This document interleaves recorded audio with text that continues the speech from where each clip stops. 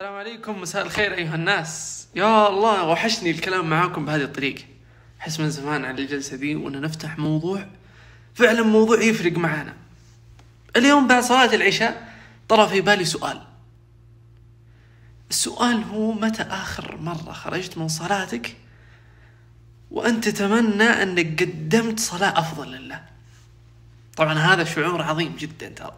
يعني أنت ما بيجيك هذا الشعور بعد صلاتك إلا وأنت كنت خاشع في صلاتك. يعني كنت تصلي بحضور قلب.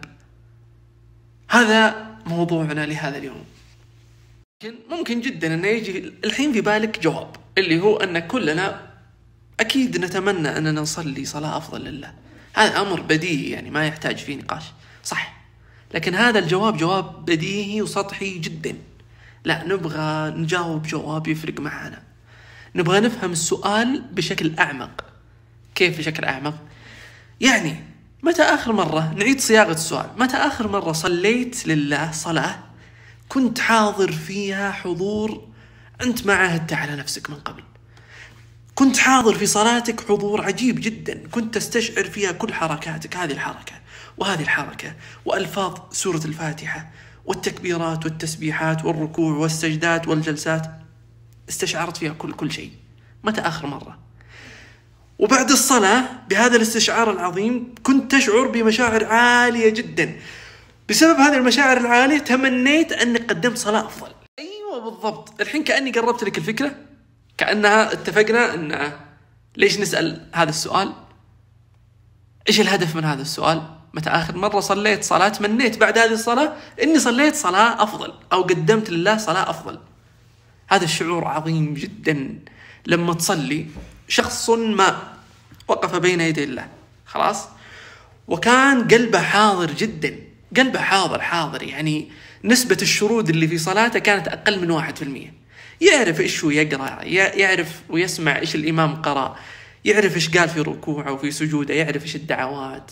ما استثقل وقت الصلاة أبدا. ما قال عشر دقائق صلاة العشاء يا أخي متى تنتهي وخلاص لا لا لا لا. كان قلبه حاضر فعلا استشعر معاني الصلاة كلها حتى انتهت الصلاة. هذا الإنسان لما تنتهي الصلاة يعيش شعور عظيم جدا. هذا الشعور يخليه يقول يا أخي يا ليتني قدمت صلاة أفضل لله دام هذا الشعور عندي. السؤال هذا كل ما كان حاضر في ذهنك كل ما فرقت معاك مسألة الصلاة. تفرق بتفرق معاك أنا متأكد. تبغى تجرب أنت الشعور وتتأكد؟ جرب كلامي هذا في صلاتك الجاية.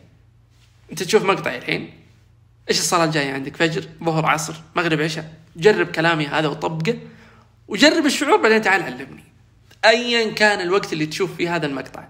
خذ المقطع جرب الكلام في صلاتك وحط هذا السؤال في ذهنك وعيش الشعور.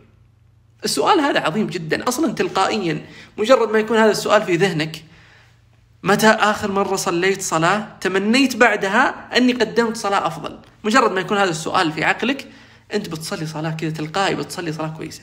صدقني لو طبقت هذا الكلام تدعي لي كثير. أنت الحين وقفت بين يدي الله وهذا السؤال حاضر في دماغك. إيش اللي بيصير؟ إيش اللي بيختلف عندك؟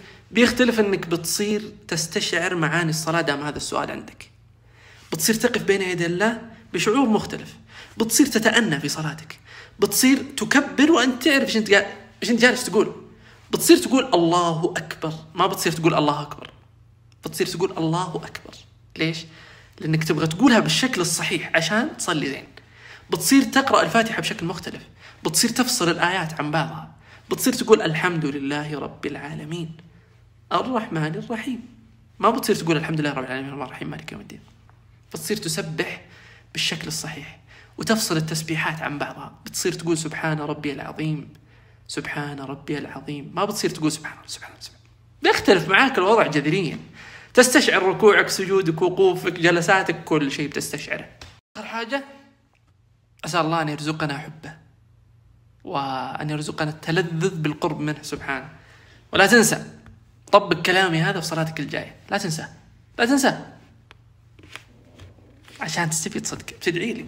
والله أنا أنا عشت شعور حلو. عشان كذا لما عرضت السؤال على مخي استوعبت إنه أوه في شعور حلو يلا اعرضه للناس خلي تستفيد. فلا تنساه وطبق صلاتك الجاية والله يسعدكم.